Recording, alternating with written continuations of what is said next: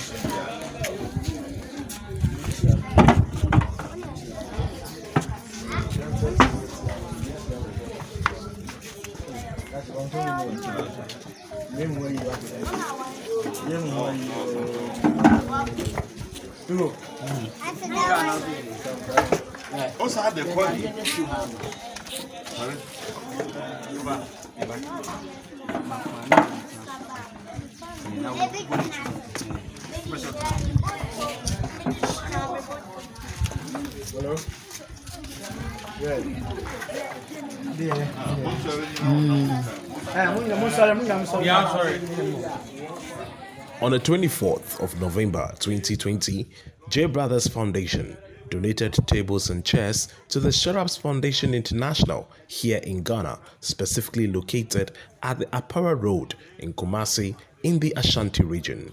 We would like to thank the school for giving us the tables and chairs, as well as the Juliana van Stolbergschool at Poederoijen, based in Holland, Gelderland. We would also like to take this opportunity to thank each and everyone who supported and donated to this project. God richly bless you all.